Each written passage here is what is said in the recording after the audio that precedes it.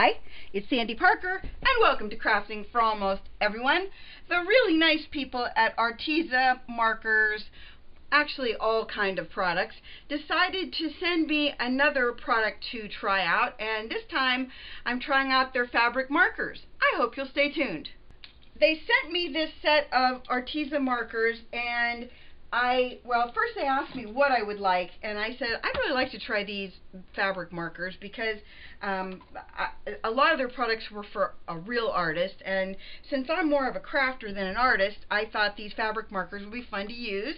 And so what I did is I took my little square dot, or yeah, square, rectangle, I'm to learn my shapes at some point, uh, I took my little rectangle die and I just cut out from this cardboard and I thought what I would do is do a rainbow pattern on this apron. For those of you who don't know me very well, you don't know that I'm kind of a messy crafter. And, uh, oh, I got all kinds of stuff under here. Um, and so I didn't really want to keep ruining my clothes. So I bought this apron at AC Moore. Hold on, I have a craft mat under here just in case I need it. Um, anyway, I bought this it's called a craft apron with two pockets. It's 20 inches by 28 inches. And obviously someone with some skill set did this one.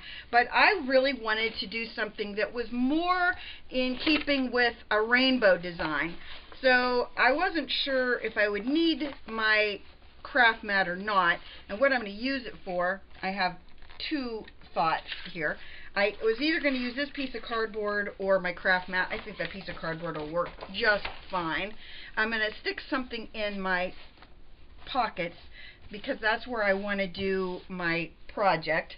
And what I thought I would do is do a rainbow of these little rectangular shapes and if you know your rainbow colors, I'm going to go through them. This is tomato red it's uh, there's an acronym for it that's Roy G. Biv, and so R is red, O obviously is orange, Y is yellow, G is a green, and I think I'm going to use, I don't know, there's so many greens to choose from. I think I'm going to choose olive green, just because I kind of dig it.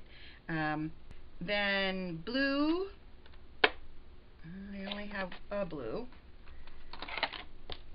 indigo, and I, ah, I think for indigo, I don't know, I might use night sky blue.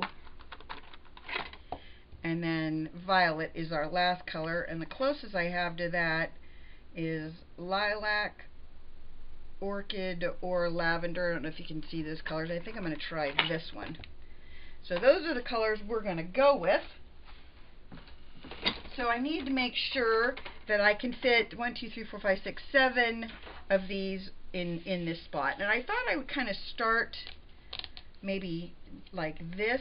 And the reason I'm using this triangle, yeah, triangle, now I'm calling it a triangle for those of you who are not skilled in shapes. I'm going to keep telling you a different shape until you go, what is the matter with her? Is she on medications?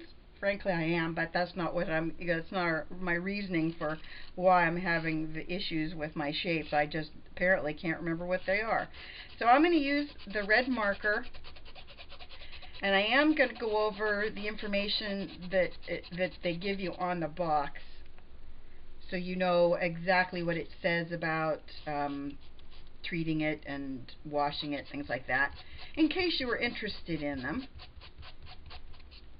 And I'm just trying to make sure that I hold my piece of cardboard in place. See why I have extra cardboard? Because if I didn't have that cardboard there, that red would have been all over my apron. I'm trying to cover color this in so I don't have any real um, vacant spots. You know, spots where you can see through. And that was one of the reasons I never liked fabric markers is because you always seem to be able to see a lot through it. You know what I'm saying? Fabric. Okay. There's red. Now, before I go any further, let me give you the information on the packaging about what it says about using them. It says how to use them. You open the markers with a gentle clockwise twist. Obviously, that's not what I needed to know. Place any pad underneath the fabric. thank goodness I did do that. And it says you want to let your your drawing dry for 12 to 24 hours. That's important and you should store them horizontally like most markers. Fabric care. For best results, wash the fabric in cold water with a neutral detergent. Hang to dry to keep colors looking new and bright. Suitable for working on jeans, t-shirts, tennis shoes, backpacks, jackets, sweatshirts, and more. My camera cut out right there when I was showing you the color swatches or the, the colors on the box, so I'll just show them to you one more time. It might be better if I just showed you them here at the top, huh? How about that? Can you see them there? In addition to the ones I have. And this is a set of 24. I don't know if they have a bigger set or not, but um, I do know that they have that many. As for why I chose a rainbow, I was thinking it was an artistic thing. You know, rainbows of colors, the color wheel. That was what I was going with. I don't know. And uh, the other thing I was thinking was, how badly could I screw this up? And that was the other thought I had. Do you think other YouTubers worry that um, they're going to screw up as badly as I worry about screwing up? I don't think they do. Although I will say Gina K's daughter, Rena K, if you've never seen her videos, you should watch them because she's really, really funny. Um, she comes off about like the way I feel about making things. She always seems like she's afraid she's going to screw something up, which is why I always worry about things because I'm pretty sure I am going to screw things up. And when I don't, I'm always so surprised. It's always a mystery to me how I can do things and do it without screwing it up the first time. Because if you've been on my channel for very long, you know I have had some big, big faux pas. And every time I do a video using a knife of any kind, like the pumpkin video, if you haven't seen my pumpkin video of the felt pumpkin, you should look at that because that was really impressive for me. Because you know I usually as I said can screw things up pretty badly and the fact that that pumpkin came out perfectly the first time without having any instructions and just winging it it it kind of um, was something for me to be proud of is all I have to say. When Rich saw it for the first time he was like wow how'd you do that? I was like I don't know. I just did it Anyway, I don't think I'm going to make you sit here and watch me color these. I'm going to clearly go from color to color and then do it in a rainbow. I wanted to have them close enough together that hopefully I can get them all on um, on here. If I can't, then I'll put six here and then uh, I might do something at the top. But um, I'll I'll come back after I've done these six. As I thought I could only get six on there, so I took another die and I cut circles out of cardboard. And if you're wondering why I cut out uh, several uh, circles or more than one rectangle, and that's because when you're doing this, you're going to get ink on the sides of your circles or your rectangle.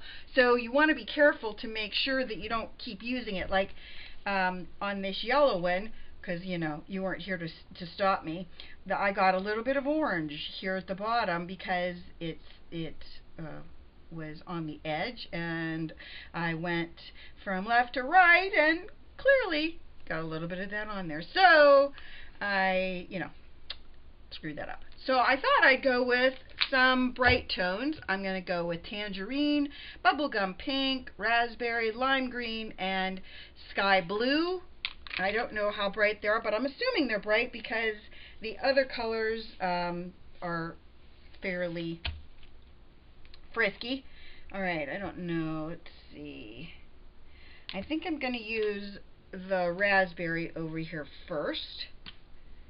And I'm going to use the circle you might not I might not even be in frame right now and if I'm not I apologize I hope I am but I'll quickly move on to another color and I'll go back to that raspberry in a little bit so that you can see another color instead of that because I didn't know I was going to screw that up. Alright, I think I'm going to go with maybe the lime green over here.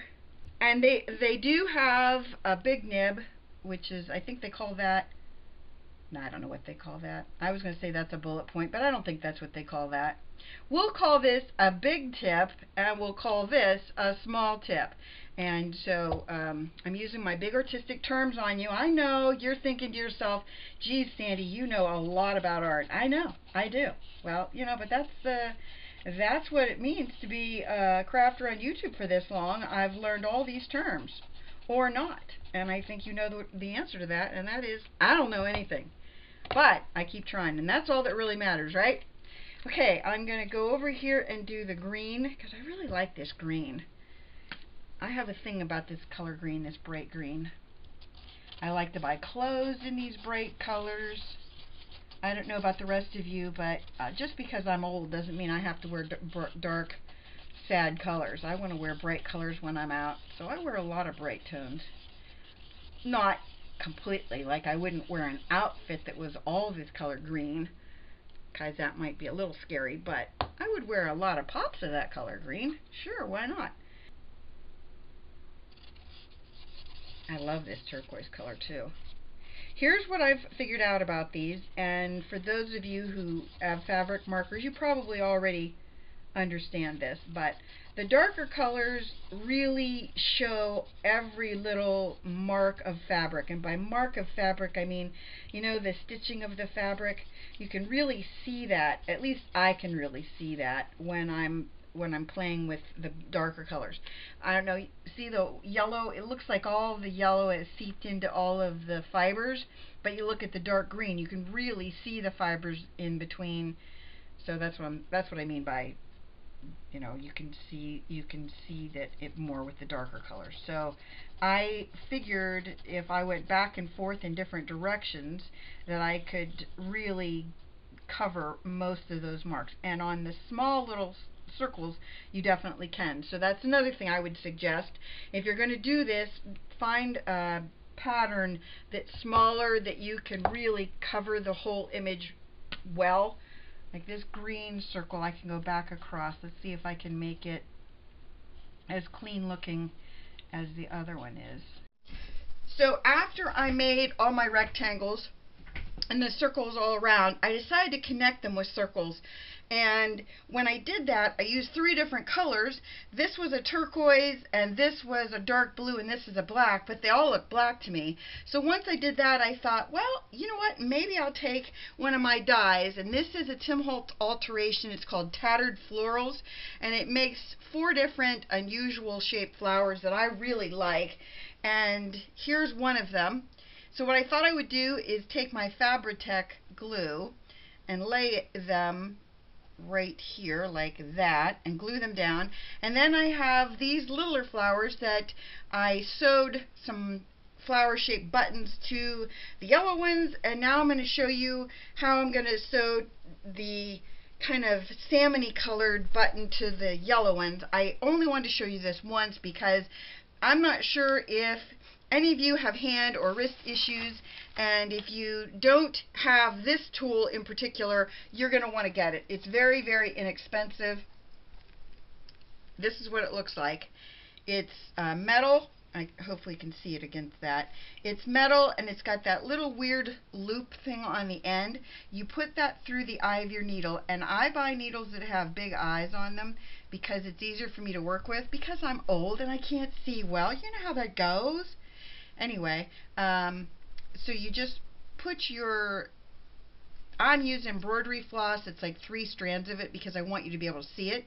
You put that through that little um, metal loop and that's you pull the metal loop out and then you've threaded your your needle. It makes things so much easier for me and um, I think you get three or four of those for a couple dollars and they're well worth it. I make my knot far enough from the end and I'll show you why I do that because when I I'm going to run my needle through kind of the center of my flower because when I do this what I like to do is when I tie it off at the end hold on, get in there. When I tie it off after I've um, done my button, I like to make sure that it's easier to knot, and that's how I do it to make it easy to knot. So I'm just going to do two uh, strands of this. Hold on, I got to see where my hole is. you know, if you weren't on camera, these things don't happen where you can't find the, the needle hole. But when you're on camera, you struggle with things like this. Okay, so once you've done two rows, then you have this our piece in the back that's now entangled with the rest of it. Hold on, let me get that out of there. Okay. So here's my extra string, and this is how I tie my knots. I just wrap my my big long string around the piece I'm holding. I'm holding that little teeny tiny piece and then I pull it and I like to do a double knot so I'm still holding that little end and I just wrap around and stick it through there and hold on to that little string. Yeah, my fingers don't work that great. As you know, there you go. And then you just cut it off. So I'm not going to make you watch me do the other um, two yellow ones. I gotta cut this off. And I'll be back after I've cut them off and we'll go on to my next plan of attack and that will be putting things in place. I have some other flowers I'm going to put down but I mean I really wanted this to be something that was fun for me that when I put it on it made me feel creative and so that's what I was hoping for. So we're going to shoot for that. I'll be back when I'm done sewing them together. So at this point, I've glued everything down except this flower. And I just thought I would kind of walk you through all I did. And basically, uh, I just made sure I got the tips around the center. It's important that you get the edges, basically. And I didn't want to miss any of those spots that might be problematic. And the glue I'm using is made by Beacon. It's called Fabrifix, F-A B-R-I-F-I-X. I'll show you that the bottle in a second so you can see it. But I wanted to make sure that you knew the kind. There's the name of it. I bought mine at Joann's and uh, I like it. It's it's kind of like hot glue without the hot part. It's runny like that. It makes it kind of hard to work because of the strings. But it does a nice job of holding fabric down and in place like this. So all of mine are attached now and then I have three more that I have for the top of my apron. This is uh, the canvas apron with two pockets. This is what I bought at AC Moore.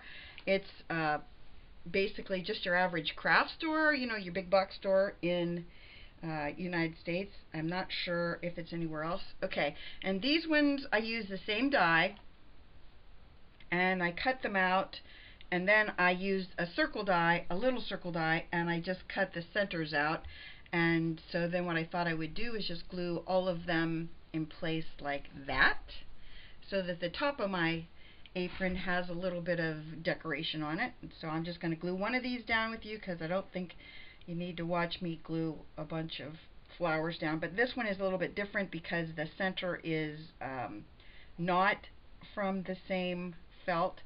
So I'm kind of gluing them down as, a, as one. I don't know if you can see that. Hopefully you can. And I'm hoping it doesn't come apart when I put it in place. And it didn't, which is nice. And then I'm just going to push it down. Oh, one thing I will tell you about this glue that's kind of weird, and I don't know why it does this. It eats your fingernail polish. See, it ate my thumbnail and my fingernail, or my my pointer finger. Weird, huh? Anyway, so I'll glue the rest of these down, and I'll be back because I have one more thing I want to do to make my ooh to make my apron fun and frisky. So lastly, what I'm going to do is I'm going to take my glitter. No, I'm going to take my glue See, I make things up all the time of what I'm really going to do. I took my glue and I went into the center of all my big flowers. I'm only doing the center centers of those because I wanted to accentuate the color underneath. And so I'm taking black glitter. I think it's black. It might be navy blue, but it looks black to me. I don't even know the name of the maker of this glitter. If any of you know, it doesn't say on the bottom. I got glue on me. And I thought what I would do is take a spoon. A spoonful of glitter makes the medicine go down. I just, you know, I have issues. And I'm just going to carefully dump it into the center of that. Yeah, I probably won't be able to get that out of there at any point in the near future, but I'm still going to do it. I can dump it back into the bottle if I get it off of my outfit, apron. And then all I'm going to do is press down on it. I have a piece of wax paper under my apron. And what I'm going to do when I'm done is I'm going to uh, dump the dump this onto my glitter any glitter that comes off. But I'm pushing in with my spoon to make sure that it does stay in the glue and it adheres well to it. If you've um, ever used this glue before, let me know if you've ever tried washing glitter with it. But I, I, I am pretty sure it's going to work. I don't know why I'm pretty sure it's going to work, but I am. I have high hopes for it. Okay, let me dump this off and I'll come back and we'll talk about how it came out. So here's my end result of my apron. I hope you can see the black glitter here in the bottom section and that you see all of my little flowers. I meant to say that I had coffee filters underneath it and not uh, wax paper, but coffee filters do a great job of taking excess um, glitter off. So what I did in the places I had too much glitter is I just kind of picked it up with the, you know, I wiped it off with these and it worked. And um, I don't know about you, but I really want an apron that I can destroy my clothes slash apron instead of my clothes because I have been making a big mess of all my clothes and now I have a really fun artsy thing that I can use. I really appreciate the people from Arteza for giving me the fabric markers and I hope you'll give them a try because they are a lot of fun and maybe you are more artistic than me and are able to draw patterns with them I'm not that artistic, but I love the idea of making something fun and funky, and that's what I think I got. I hope you give this a thumbs up and subscribe. Please tell your friends about me on social media because you know I love that. And thanks so much for watching. Bye-bye.